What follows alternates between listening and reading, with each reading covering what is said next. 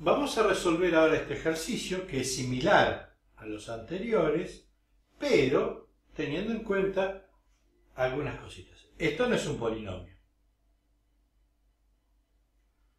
Lo voy a poder ver como un polinomio si quiero, pero no es un polinomio.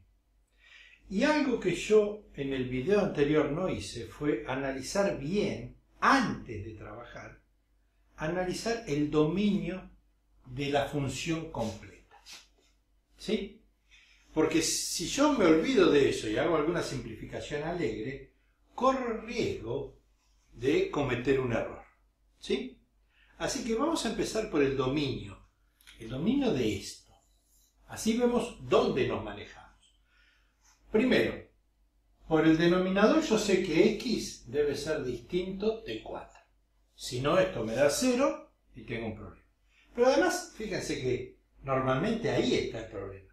Si esto tiende al valor 5, yo reemplazo 5 acá, 5 acá, y me da un valor, y se acabó el ejercicio. Pero como tiende justo a 4, veo que me queda. Raíz de 4 es 2, menos 2, 0, y 4 menos 4 es 0, me queda 0 sobre 0. O sea que sé que esto va a ir a parar a una indeterminación de este vamos a empezar a hacer el ejercicio teniendo en cuenta esto, que no hay ningún problema, teniendo en cuenta que como acá aparece raíz de x x debe ser mayor o igual a 0, sí o sí. O sea que el dominio de f de x es el intervalo que va de 0 a infinito menos el valor 4. ¿Sí? Esto lo tengo que tener en cuenta. Y ahora voy a resolver esto. Lo voy a hacer de dos maneras.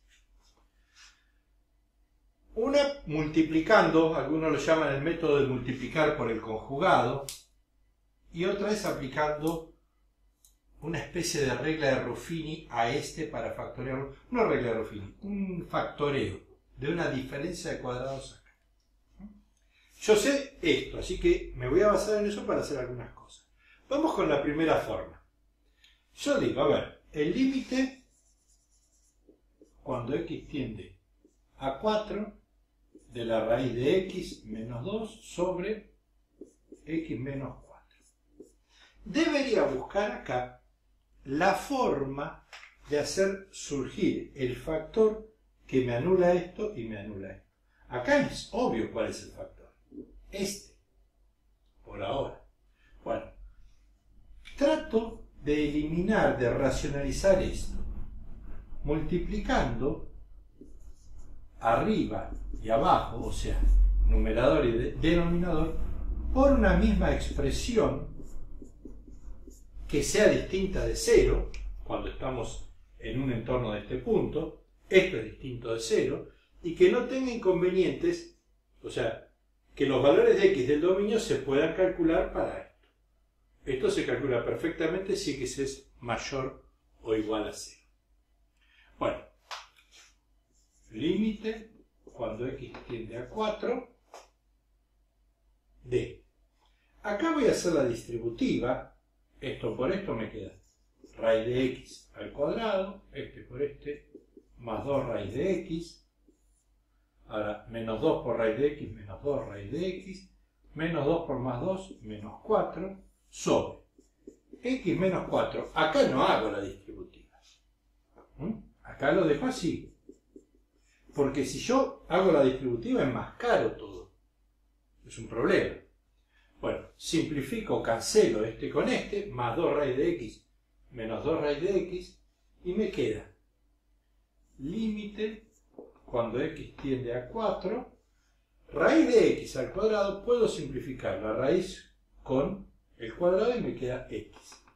Menos 4, este, dividido x menos 4, por la raíz de x más 2.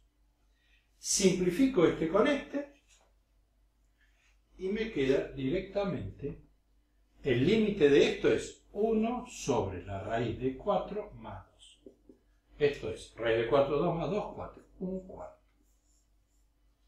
Ahí es una, una forma de solucionar el problema. ¿Cuál era la otra? Voy a tratar de factorear esto, como sea. Yo digo límite cuando x tiende a 4. Fíjense que nunca me olvido de poner esto, porque si yo me olvido de poner esto y hago esta simplificación, estoy cometiendo un error. Incluso habiendo dicho esto del dominio, ¿eh? acuérdense que cuando x tiende a 4 estoy en lo que se llama un entorno reducido, que no significa un entorno pequeño, es un entorno que no, no contiene al centro. Eso lo vamos, eso se, se especifica un poco más en detalle cuando se hacen los límites por definición. Pero es un concepto fundamental. Bueno, a ver, voy a tratar de ver el de abajo, el denominador, este, como una diferencia de cuadrados. Raíz de x al cuadrado. Si me muevo acá, no tengo ningún problema en sacarle la raíz a x. Menos 2 al cuadrado, que es el 4. Esto es límite cuando x tiende a 4 de la raíz de x menos 2.